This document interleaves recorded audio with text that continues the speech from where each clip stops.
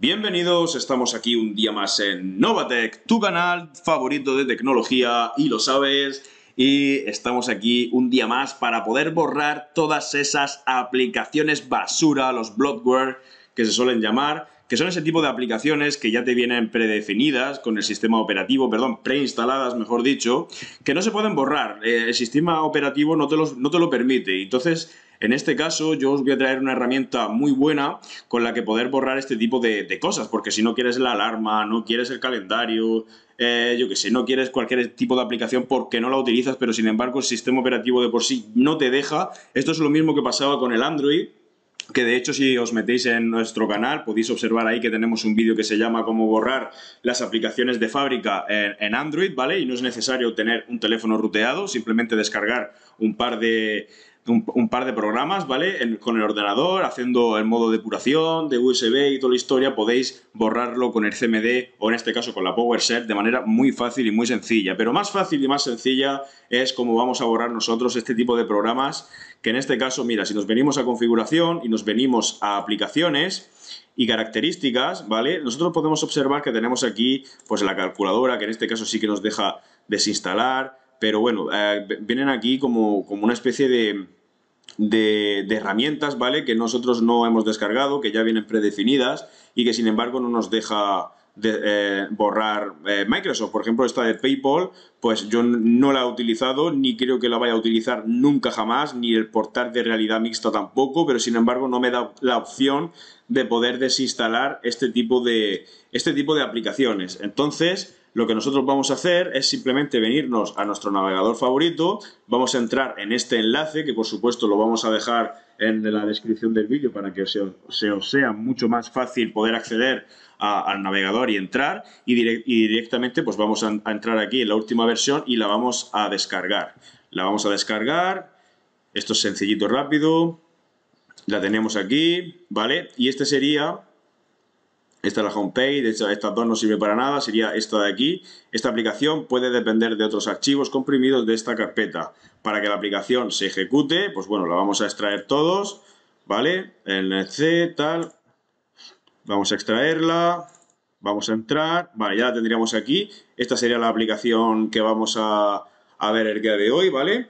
Es súper fácil, esto, no sirve para nada, ¿vale? Que me había equivocado anteriormente, es esta la que vamos a ejecutar y para ejecutarla la deberíamos de hacer con administrador. Entonces vamos a darle clic derecho y vamos a ejecutar como administrador.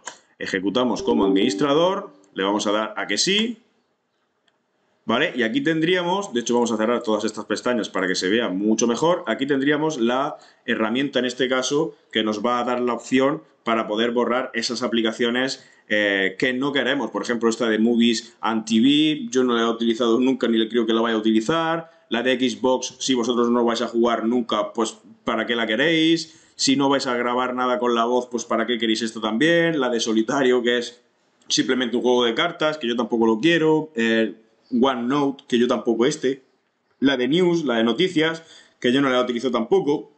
Si quiero buscar noticias simplemente clico en el navegador y busco cuál es mi periódico favorito. Tenemos aquí esta del corazón, que supongo que es para medir la salud. Es decir, tenemos un montón de características, de herramientas que vienen ya predefinidas en nuestro sistema operativo que realmente a nosotros pues no nos vale para absolutamente para nada. Mira, tenemos aquí una de food que bueno, un montón de basura, un montón de, este tipo de bloatware que no, que no vamos a utilizar nunca y que está ocupando memoria y está ocupando rendimiento en tu ordenador, en este caso en tu sistema operativo. Simplemente para poder eliminar eh, una por una, simplemente habría que clicar, ¿vale? En una, ¿vale? Y, directamente, ¿vale? Aquí te está diciendo, ¿vale? ¿Estás seguro de que quieres desinstalar esta app? Pues simplemente le des así y ya se estaría desinstalando, ¿ves? Eh, la desinstalación ha sido eh, satisfactoria. Le deberíamos aceptar y ya está. queremos borrar el solitario. Yo para aquí quiero jugar a las cartas. Y si simplemente vosotros veis que ninguna de las que hay aquí, Money, Movies and TV, es que no, no, la de Microsoft Store, pues sí está bien tenerla porque te van a dar ahí aplicaciones de Microsoft que igual te interesan, aunque también las puedes encontrar en tu navegador por lo tanto tampoco es necesario. El Skype, que yo no lo utilizo absolutamente para nada tampoco, le podemos dar directamente a esta pestañita de aquí, que sería la de Remove All, es decir, remover todas las aplicaciones, la de Scan, todas, ¿vale?